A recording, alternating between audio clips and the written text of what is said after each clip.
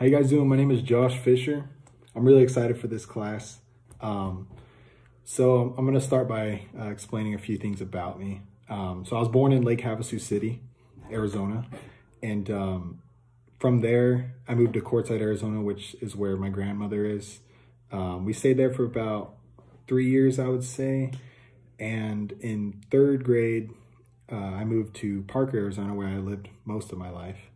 Um, I lived there all the way until my freshman year of high school.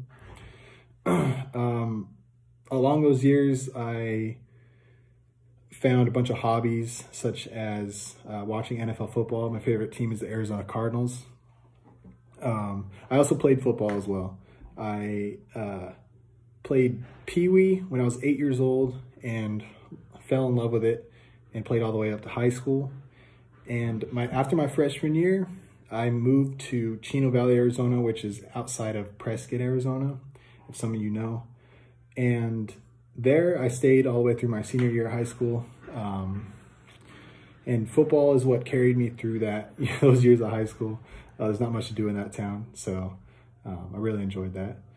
Um, and from there, I got a scholarship to play football at this uh, university in Surprise that just opened up. It's called Ottawa University. Um, it was really fun uh, playing football that year and uh, being the first uh, student's inaugural season um, to, you know, be a student there at the university. So I really enjoyed that. Um, I moved to Arizona State my sophomore year uh, because they weren't offering criminal justice degree at that point in time. So I figured I should move on from football and start on my life. on uh, so I choose to move to Arizona State University online, and I'm enjoying it so far. Um, yeah, so my career aspirations is to go in law enforcement.